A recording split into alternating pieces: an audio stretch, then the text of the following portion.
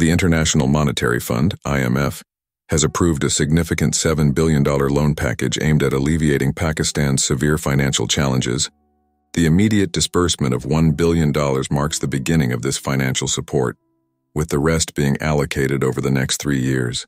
Prime Minister Shehbaz Sharif expressed his deep gratitude to IMF Managing Director Kristalina Georgieva and her team, acknowledging the crucial support they have extended. This new loan is part of a long-standing relationship between Pakistan and the IMF, reflecting a history of financial dependency. Since 1958, Pakistan has secured over 20 loans, making it the IMF's fifth largest debtor. However, this package comes with stringent requirements, necessitating Pakistan to undertake a series of reforms to stabilize and strengthen its economy.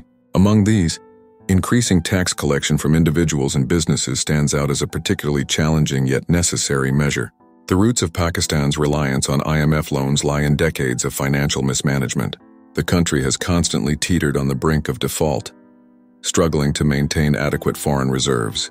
Just last year, Pakistan's reserves were so depleted that they could barely cover a month of imports, highlighting the dire need for international assistance. In July 2023, the IMF extended a $3 billion bailout, further augmented by financial aid from allies like Saudi Arabia and the United Arab Emirates. Prime Minister Sharif has stated that the new loan agreement is a pivotal step toward economic stabilization. While acknowledging the formidable challenges that lie ahead, he underscored the importance of this financial package in setting the stage for recovery.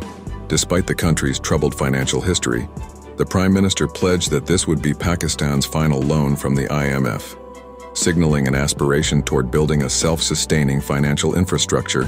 The loan package is expected to provide immediate relief to Pakistan's current economic crises, but also lays the groundwork for medium-term recovery. The reforms imposed by the IMF, while difficult, are aimed at making Pakistan's economy more resilient and self-sustaining in the long run. It's a tough road ahead, but this financial intervention offers a glimmer of hope that Pakistan can overcome its economic woes through structural changes and disciplined fiscal management.